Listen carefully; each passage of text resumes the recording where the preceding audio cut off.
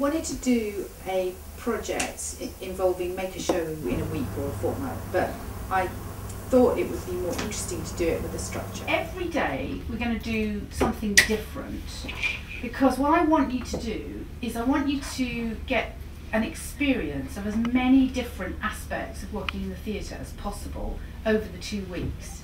Now, this piece that we're going to make is designed for a young audience of three to seven year olds. Now, the great thing about a children's show is that it lends itself to special effects and magic and props. So we're going to create something that is full of surprises, we hope.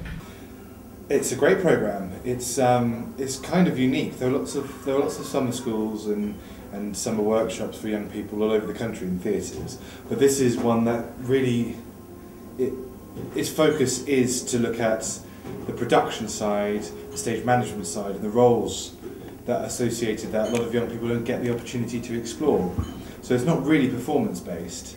And what makes this project unique is that instead of just hiring the theatre and having the restrictions, you've got your own small sort of toy box theatre, which gives you a lot more opportunity for design. Um, it's smaller, it's easier to manage, so you can all get your hand, you can get your hands on with all of the jobs because it's it's a manageable size.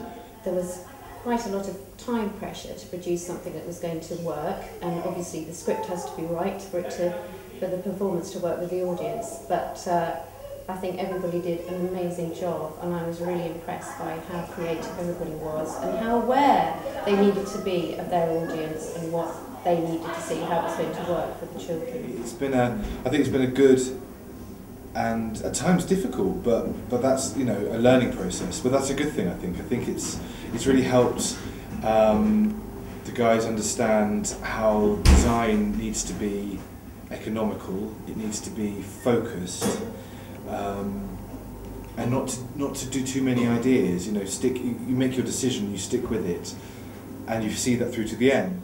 You can see the benefits of that.